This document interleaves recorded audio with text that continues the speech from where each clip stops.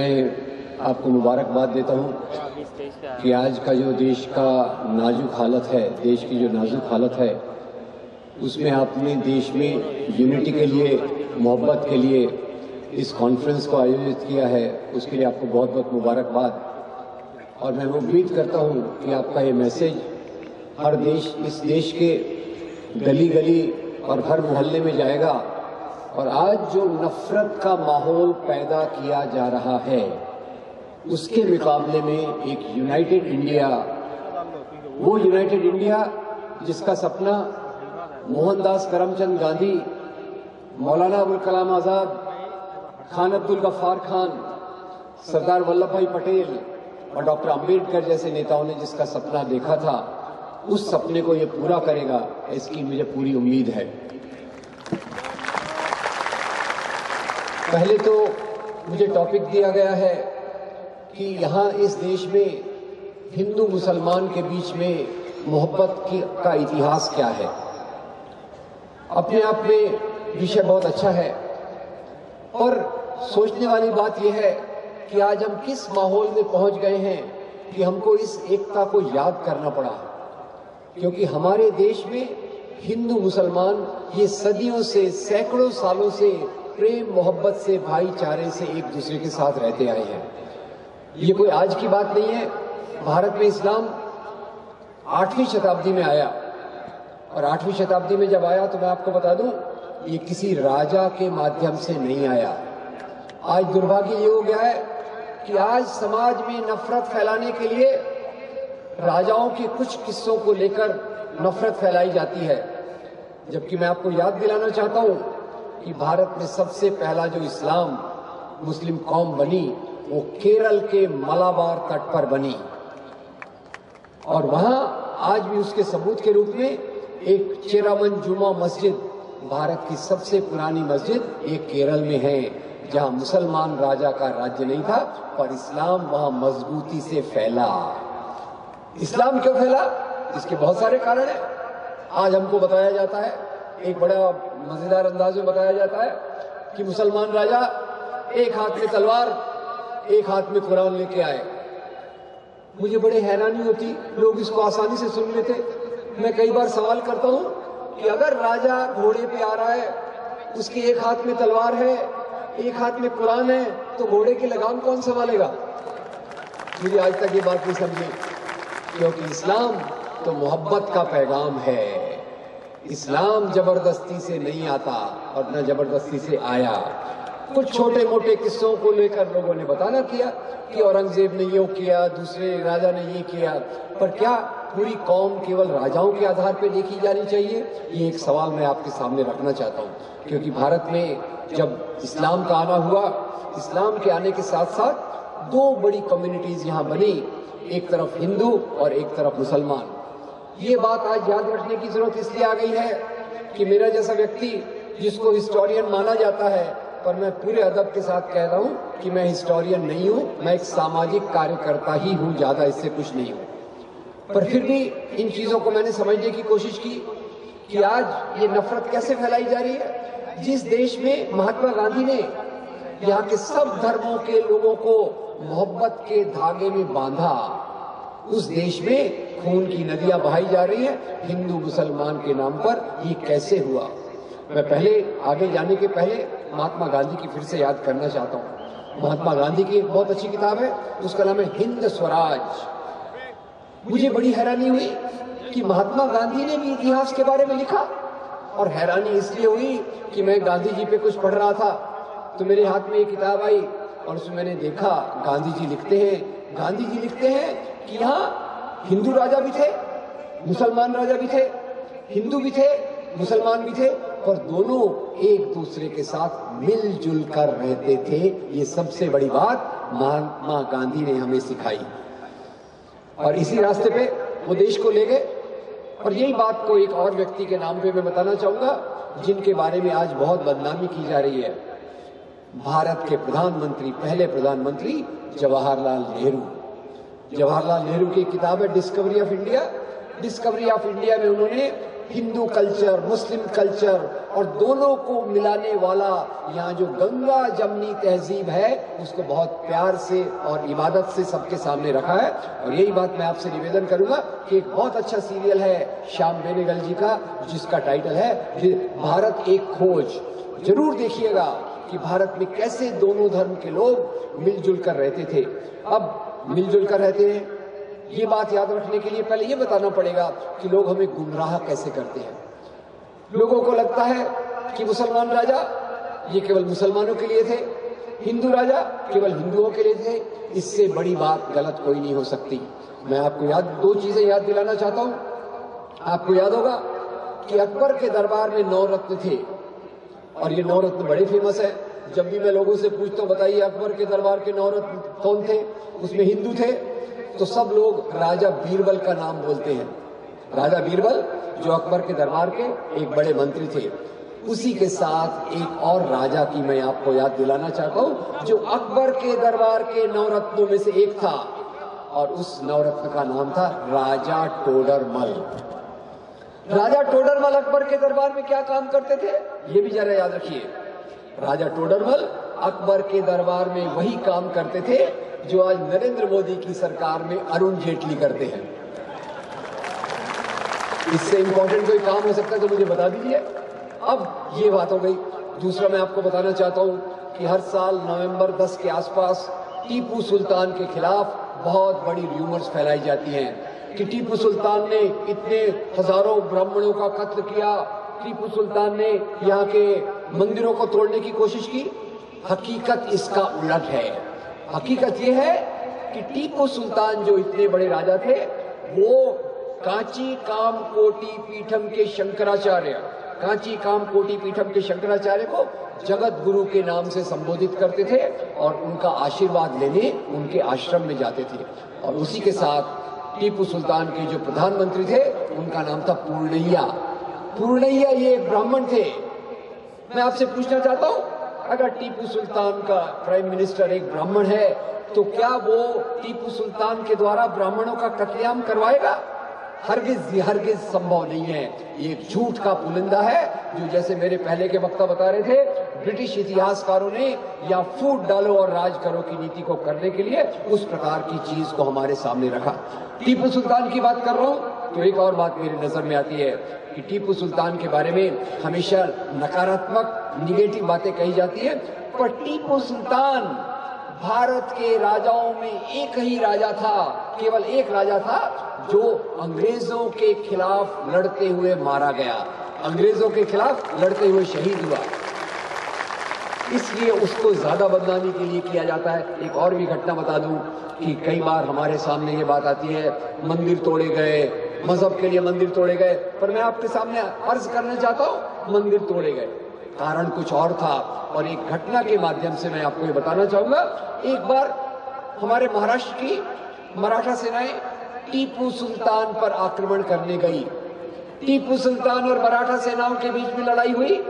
ये लड़ाई में मराठा सेनाएँ टीपू सुल्तान को हरा नहीं पाई।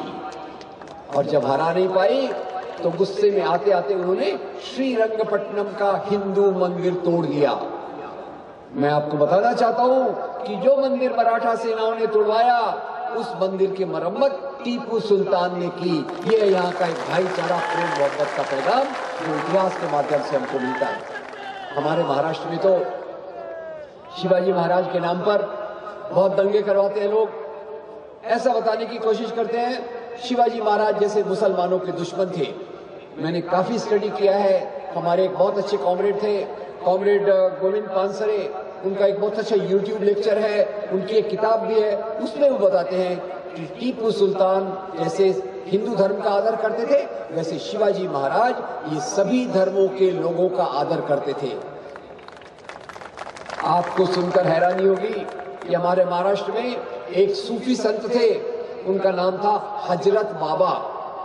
और शिवाजी महाराज बाकायदा हर साल उनको आदर के साथ बहुत बड़ी गिफ्ट, बहुत बड़ी भेंट किया जा, किया करते थे, क्योंकि वो हज़रत बाबा को एक बहुत अच्छा इंसान, एक और एक और अच्छा धर्म गुरु मान के उनका ये करते थे। यही शिवाजी महाराज, जैसे उनके बारे में एक छोटी सी घटना बता दूँ, और ये मैं क्लियर करना चाहता हूँ कि जो लड़ाइयाँ हुई राजाओं में, वो मज़हब के लिए नहीं हुई। राजाओं की लड़ाइयाँ सियासत के लिए हुई पावर के लिए हुई, पैसे के लिए हुई। उसको मज़हब के नाम से जिसने बताया, वो थी यहाँ की अंग्रेज़ हुकूमत। उस पर मैं फिर से आऊँगा। उसके पहले बता दूँ कि शिवाजी महाराज और अफजल खान की लड़ाई हुई। तो क्या ये हिंदू मुसलमान की लड़ाई है? गलत। शिवाजी महाराज जब जा रहे थे तो शिवाजी महाराज के जो बॉडीगार्ड थे, उन बॉडीगार्ड का नाम था रुस्तमे जमाल ये बता दूँ आपको, शिवाजी महाराज के अठारह बॉडीगार्ड में से बारह बॉडीगार्ड मुसलमान थे। शिवाजी महाराज का सबसे बड़ा ओहदा जो था ऑफ़िस का, उसका नाम था मौलाना हैदर अली। खैर, शिवाजी महाराज जाते हैं, अफजल खान से मिलते हैं। उनमें लड़ाई होती है, अफजल खान मारा जाता है। अफजल खान की तरफ़ से उनका सचिव सामने आता है, वो तलवार निकालता है और शिवाजी को मारने की कोशिश करता है। तो अफजल खान के साथ कृष्णा जी, भास्कर, कुलकर्णी, शिवाजी के साथ मौलाना हैदर अली। ये हिंदू मुसलमान का मामला नहीं है। ये मामला पावर का है, सत्ता का है। और सबसे बड़ा जो हमको याद रखना चाहिए, जिसको आज जो हिंदू धर्म के नाम पे पॉलिटिक्स कर रहे हैं, ख्याल कीजिए, मैं किसी धर्म के खिलाफ बात नहीं करता। मैं सभी धर्मों के नैतिक मूल्यों का आदर करता हूँ। पर आज धर्म के नाम पे पॉलिटिक्स किया जा रहा है, उसका मैं पूरा पूरा विरोध करना चाहता हूँ। और इसी आधार पे मैं आपको बताना चाहता हूँ कि राजस्थान में महाराणा प्रताप को एक हिंदू राष्ट्रवादी बताया जाता है। पहले याद रखिए राष्ट्रवाद की कल्पना जो चालू होती है the ideology of nationalism it begins with freedom movement आज़ादी के आंदोलन के पहले राष्ट्रवाद की कल्पना नहीं थी। राजाशाही थी। और वो राजाशाही में हिंदू राजा भी थे, मुसलमान राजा भी थे। तो अकबर के ऊपर फिर से आ जाता हूँ। अकबर अकबर और राणा प्रताप की लड़ाई हुई। हल्दी घाटी के मैदान में। एक तरफ़ अकबर की फौज है, एक तरफ़ राणा प्रताप की फौज है। मज़े की बात देखिए, अकबर की फौज में अकबर खुद नदारद है, गायब है।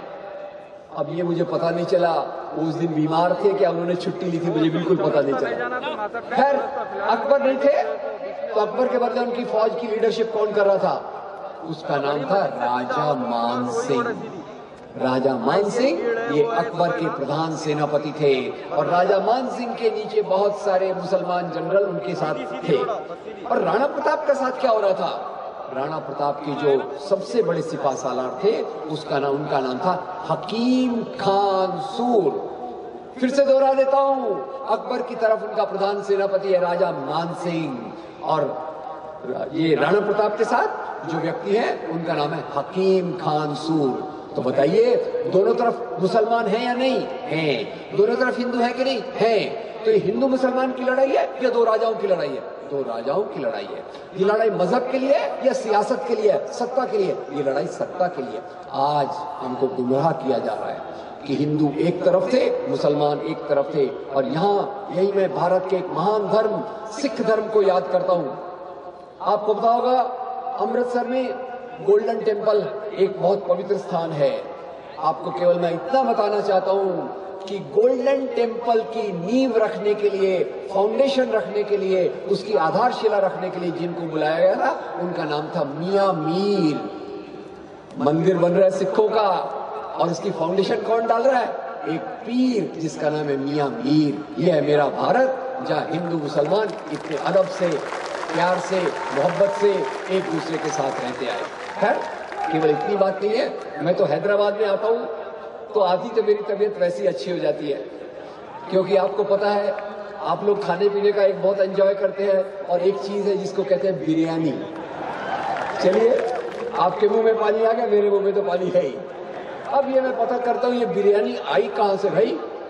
मज़ा तो सब लेते हैं। ये बिरयानी आई थी ईरान से। ईरान में इसको कहते हैं बिरयान यहाँ आई, हमने और टेस्टी बना दिया और बिरयानी बन गई तो हैदराबाद बिरयानी के लिए फ़ेमस हो गया। ये है मेरा इंडिया जहाँ चीज़ आती है ईरान से और पॉपुलर होती है सब लोगों के बीच में। बाहर की अच्छी चीज़ें आई तो हमने उसको स्वीकार किया। हमारे एक वेदों में वाक्य है, आनो भद्रा क्रत्वो यंतु विश्वता। क्या मतलब है इसका? दुनिया के अच्छे से अच्छे विचार, अच्छे से अच्छी चीज़ें मुझ तक आए, मैं उनको स्वीकार करूँगा।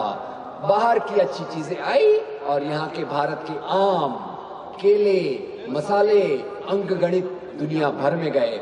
आपको बता दूँ, सऊदी अरेबिया में, अरेबियन एरियाज़ में जो साइंस ऑफ़ मैथमेटिक्स है, जो गणित का विज्ञान है, उसको कहते हैं हिंद सा कहाँ से आया? यहाँ से गया। और जो अच्छी चीज़ थी, दूसरे लोगों ने स्वीकार की। और आज इस दुनिया के माहौल में ये बोलते हुए आपको अचरज होगा कि पूरी मानवता का जो विकास हुआ है, वो संघर्ष से नहीं हुआ, वो मेल जोल से हुआ है। We have developed because of alliance of religion alliance of civilisation पूरी ज़िम्मेदारी के साथ ये बात मैं कहना चाहता हूँ कि मेल जोली वो चीज़ है जिसने भारत को भारत बनाया। और यही बात हम अपने धर्म के एरिया में देखते हैं। यही बात खाने पीने में, साहित्य में, कला में, संगीत में, सब चीज़ों में हम देखते हैं कि कैसे एक दूसरे की चीज़ों में लोगों ने कंट्रीब्यूट किया। और यहाँ मैं आपको एक बहुत प्यारी बात बताना चाहता हूँ। कई बार नई पीढ़ी के लोगों को ये बात मैं नहीं बता सकता, पर मेरी पीढ़ी और उससे थोड़े आगे वालों को मैं बताता हूँ कि आपको पता होगा कि अभी बीबीसी ने एक सर्वे किया कि भारत के हिंदी फ़िल्मों के सबसे दस लोकप्रिय भजन कौन से हैं? भारत के सबसे दस लोकप्रिय भजन कौन से हैं? और उस भजनों में एक भजन आया, वो है फ़िल्म बैजू बावरा का। फ़िल्म बैजू बावरा का वो भजन है, मन तड़पत हरि दर्शन को आज। क्या मतलब है इसका? इसका लिखने वाला कौन है? इसके लिखने वाले का नाम है शकील बदायूनी। गाने वाले का नाम मोहम्मद रफी, संगीत देने वाले का नाम नौशाद अली। यह है मेरा इंडिया। जहाँ एक फ़िल्म बनती है बैजू बावरा और इतने सारे लोग उसको कंट्रीब्यूट करते हैं। पुरानी बात हो गई। आज की बात पे आता हूँ। अभी अभी एक बहुत प्यारी फ़िल्म आई थी, उसका नाम है लगान। लगान में गाँव के लोग मंदिर में जाते हैं और एक प्यारा सा भजन गाते हैं। ओ पालन हारे, निर्गुण और न्यारे। मुझे भी बहुत अच्छा लगता है भजन। मैंने देखा, इसका थोड़ा इन्वेस्टिगेशन किया। तो पता चला, इनके लिखने वाले हमारे दोस्त हैं जावेद अख्तर। और उसको जो संगीत देने वाले हैं, उनका नाम है अल्लाह रखा रहमान। इससे ज़्यादा क्या एकता मैं आपको बता सकूँ? हमारे देश की जो पूरी दुनिया में मशहूर होना चाहिए। खैर, ये हो गई हमारे साहित्य की बात, पर एक संगीतकार को तो मैं कभी नहीं बुला सकता। वो संगीत बजाते थे, शहनाई बजाते थे और वो हिंदुओं के पवित्र शहर बनारस में, हिंदुओं के पवित्र शहर बनारस में, हिंदुओं की पवित्र नदी गंगा के किनारे हिंदू मंदिरों की सीढ़ियों पर बैठकर शहनाई बजाते थे। और इतनी प्यारी शहनाई थी कि गवर्नमेंट ऑफ़ इंडिया ने उनको भारत रत्न की उपाधि से सम्मानित किया। और ये ये फिर से बताना पड़ेगा, उस्ताद बिस्मिल्ला खान कौन है। तो खैर, ये हमारा देश, जहाँ हिंदू मुसलमान प्यार से, मोहब्बत से, जैसे हिंदू धर्म में कहते हैं, वसुधैव कुटुम्बकम, वैसे इस्लाम में एक कल्पना है ऑल मेन आर ब्रदर हम सब भाई भाई हैं, हम एक समाज के लोग हैं। इस्लाम में तो आप मेरे से ज़्यादा जानते हैं, फिर भी मैंने इस्लाम से बहुत सीखने की कोशिश की है, ये भी मैंने इस्लाम से सीखा। अगर किसी व्यक्ति का पड़ोसी भूखे पेट रहता है और आप खाना मज़े से खाते हो तो जो व्यक्ति मज़े से खाना खाता है, उसके लिए जन्नत के दरवाजे कभी नहीं खुलेंगे। हिंदू धर्म से मैं सीखता हूँ। पूरे दुनिया को अपना परिवार मानो। इस्लाम से मैं सीखता हूँ। दूसरों की दूसरों की सेहत, दूसरे के खाने पीने का ख्याल रखो। तो इसी चीज़ों में मैं सभी धर्मों की अच्छाइयों को लेके आगे चलने के लिए आपके सामने खड़ा हूँ। और ये भी बताना चाहता हूँ, जैसे मेरे पहले के मौलाना साहब ने कहा, ये हमारे बीच में जो बीमारी लाई, वो लाई अंग्रेज़ों ने फ़ूड डालो और राज करो।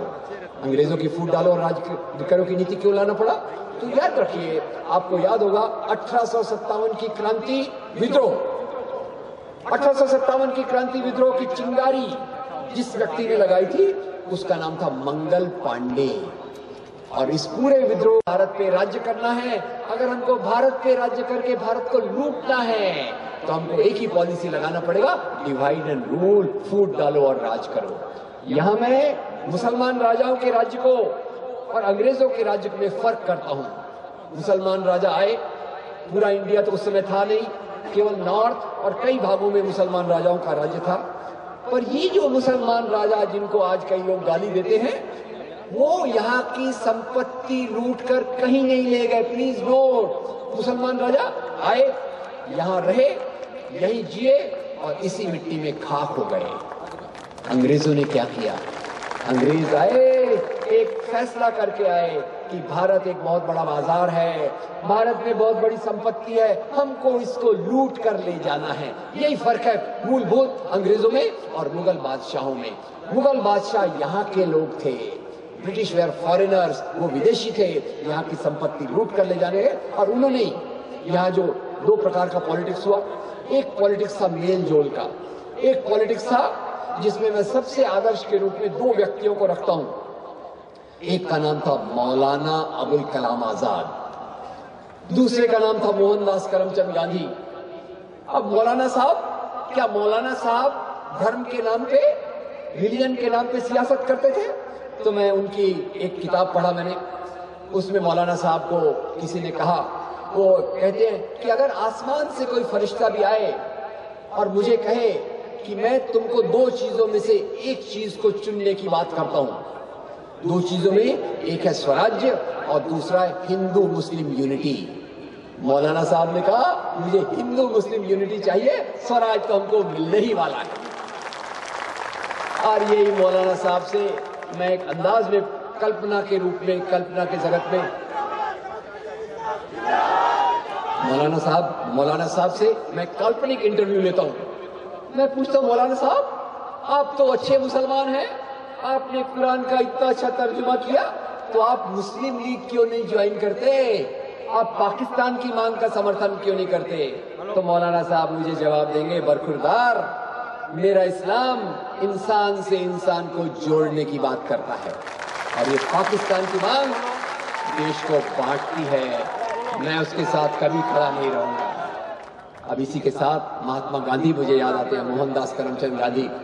जिनको मारने वाला गोडसे के मंदिर बनाए जा रहे हैं। याद रखिए, जो हुकूमत है, वो ऐसी सियासत को जन्म दे रही है कि गोडसे के मंदिर बनाए जा रहे हैं और गांधी के सिद्धांतों को भुलाया जा रहा है। मैं गांधी जी से भी मिलता हूँ।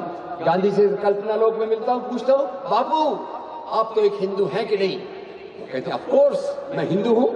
फिर मैं कहता हूँ तो आप हिंदू महासभा क्यों नहीं ज्वाइन करते? वो आरएसएस क्यों नहीं ज्वाइन करते हिंदू राष्ट्र वालों की? तो गांधी मुझे कहते हैं बेटा मेरा हिंदू धर्म वसुधैव कुटुंबकम को मानता है। मेरा हिंदू धर्म सभी इंसानों को जोड़ने की बात करती है। और हिंदू महासभा और आरएसएस का पॉलिटिक्स ये हिंदू राष्ट्र चाहता है। नारे तकबीर। कौमी एकता। हिंदू मुस्लिम इतिहास तो गांधी जी को गोली इसलिए नहीं मारी गई। कि पाकिस्तान के 55 करोड़ देने के लिए उन्होंने कहा कि इसको दे दो, ये पैसा उसका ही है। गांधी जी को इतनी गोली इसलिए मारी गई वो एक आदर्श हिंदू थे और हिंदू राष्ट्र की कल्पना के खिलाफ थे। उनका कोई विरोध नहीं था हिंदू धर्म से, इस्लाम से। गांधी जी की आप लेखनी को जगह जगह पढ़िए। वो कहते हैं कि यहाँ का हिंदू धर्म, इस्लाम, क्रिश्चियनिटी, ईसाई धर्म सभी धर्म ये यहाँ के धर्म हैं। They are all Indian religion को क्या होगा? और दंगों के रोकने के लिए उसने अपनी पूरी जान की बाजी तक लगा दी और तब तक दंगे रुके रहे। आज ऐसा माहौल है कि एक, एक चीफ मिनिस्टर अपनी गद्दी पे बैठता है भयंकर दंगे होते हैं। तीन महीने बाद वो जाता है कि अच्छा इतने लोग मर गए पर एनीवे रिफ्यूजी कैंप बंद कर दो हमको ये नहीं चाहिए। आशा आपने पहचान लिया होगा, मैं किस महोदय के बारे में बात कर रहा हूँ। ये क्या फ़र्क है? देश कहाँ से कहाँ चला गया?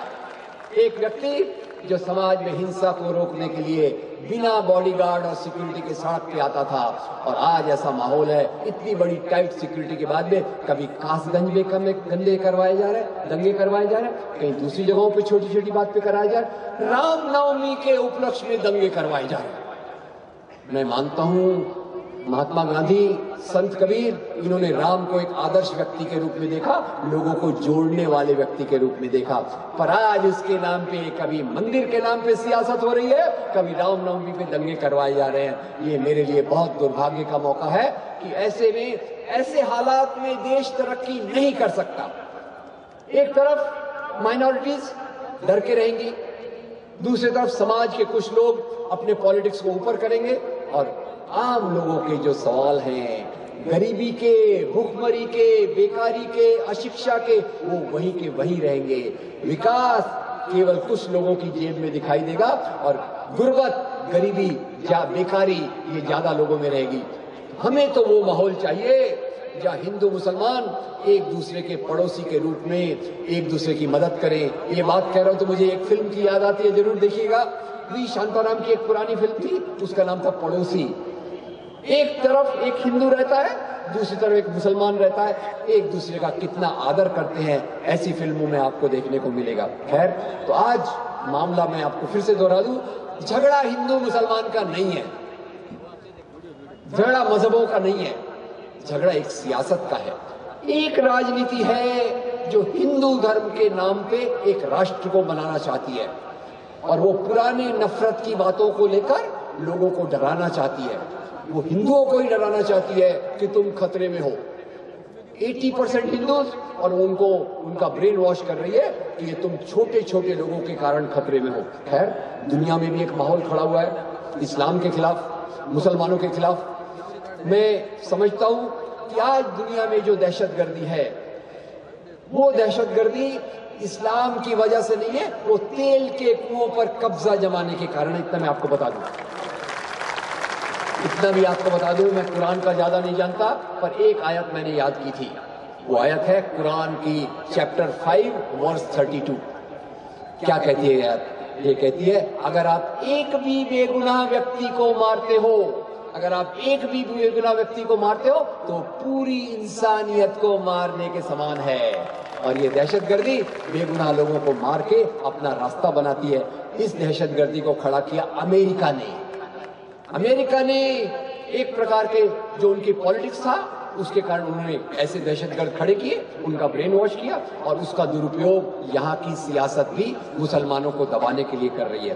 पर मैं पूरी ज़िम्मेदारी के साथ, पूरी समझ के साथ बताना चाहता हूँ कि भारत का संविधान, ये हमारी सबसे बड़ी हिफाजत करने वाली चीज़ है।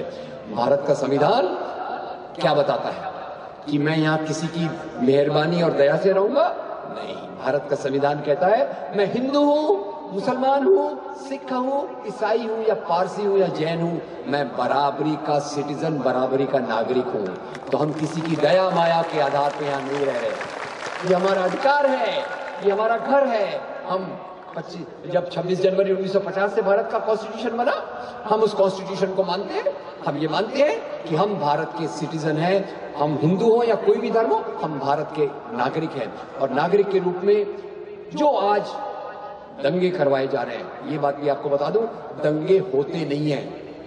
दंगे होते नहीं है, दंगे करवाए जाते हैं। और दंगे कौन करवाता है, उससे फ़ायदा किसको होता है, वो पूरा पूरा चैप्टर है, वो उसको कभी हम बाद में बात करेंगे, पर दंगे करवाते हैं ताकि समाज नफरत की दीवारें खड़ी हो जाएँ। एक तरफ़ हिंदू हो जाए, एक तरफ़ मुसलमान हो जाए, और कुछ लोग चैन की बंसी बजाकर अपना पॉलिटिक्स अपना सियासी हक पूरा करें। तो हमें करना क्या चाहिए? अंत में, आखिर में ये तो कुछ नहीं हुआ कि भाई जलसा बड़ा अच्छा हुआ। तकरीरें बड़ी अच्छी हुई, फिर अगले जलसे का इंतज़ार करेंगे। इससे काम नहीं चलेगा। हमें समाज में एक पॉजिटिव पॉलिटिक्स सकारात्मक राजनीति लाना है। और सकारात्मक राजनीति कैसे आएगी? सकारात्मक राजनीति के तीन आधार हैं।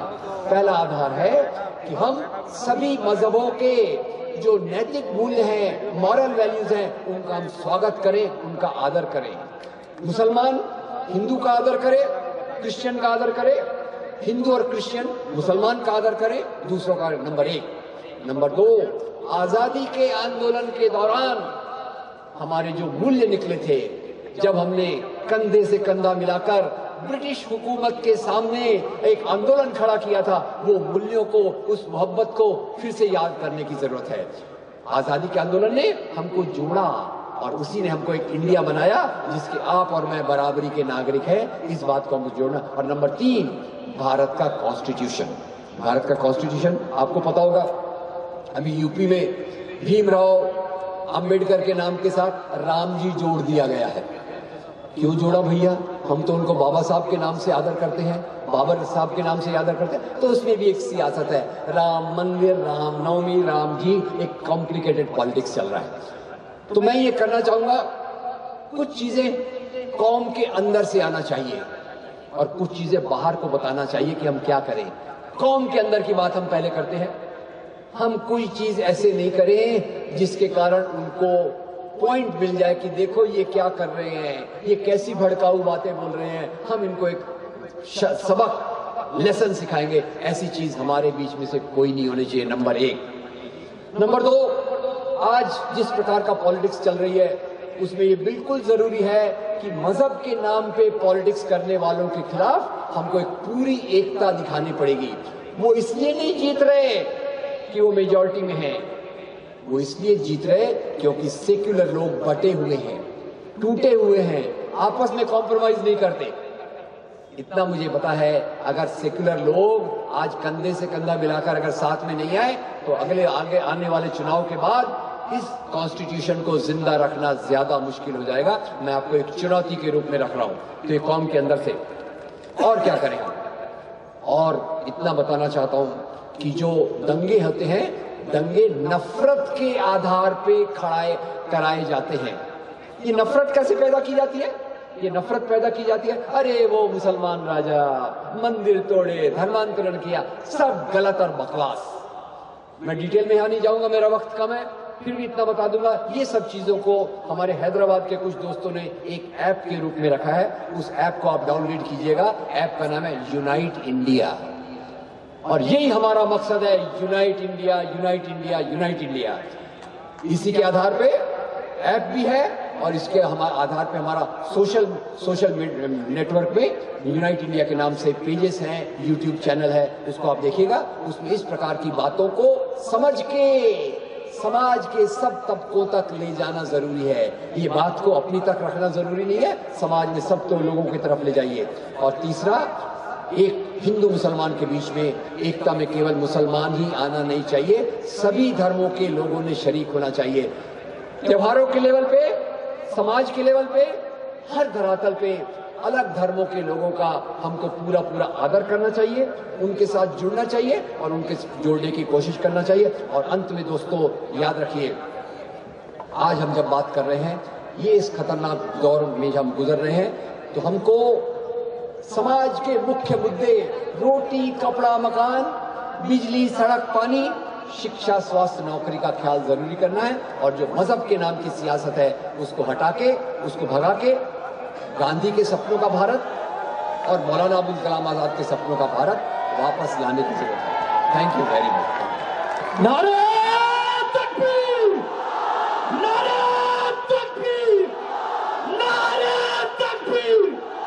जमातुल उलमा हिंद मौलाना सज्जाद अरशद मदनी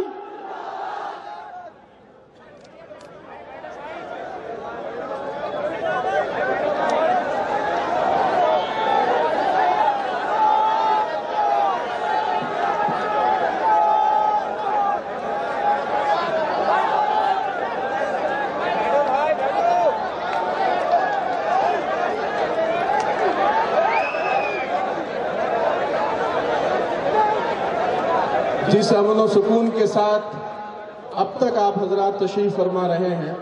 मेरी ख्वाहिश है कि उसी अमन सुकून के साथ आप हजरात तशरीफ़ रखें। जमीयतलमा का ये इजलास, प्यारो मोहब्बत का अमन व एकजहती का पैम्बर है। मैं आप हजरात से ख्वाहिश करता हूँ कि जिस जगह पे जो साहब ठहरे हुए हैं, उसी जगह पे तशरीफ़ रखें, उसी जगह पे बैठ जाएँ। सामने के अहबाब ठहरे रहेंगे तो पीछे के लोगों को देखने में दुशारी होगी। इसीलिए मैं ख्वाहिश करता हूँ कि तशरीफ़ रखें, बैठ जाएँ।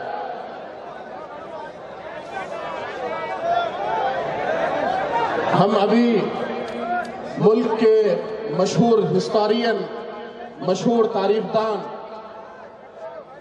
प्यार मोहब्बत के अमीन और उसी पैगाम को बड़े ही दर्द के साथ पूरे मुल्क के साथ शेयर करने वाले मोहतरम जनाब डॉक्टर राम पुनियानी साहब का बहुत ही पुरअसर पुरमक्स और तारीख के हवालों से भरपूर खिताब हम सुन रहे थे।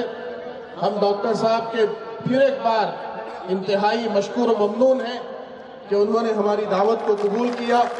यहाँ तशरीफ़ लाए। मैं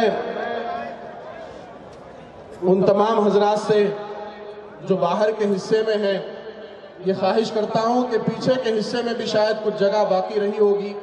जो हजरात गेट पर ठहरे हुए हैं, मेरी उनसे ख्वाहिश है कि वो वॉल्टियर्स पीछे मैं समझता हूँ।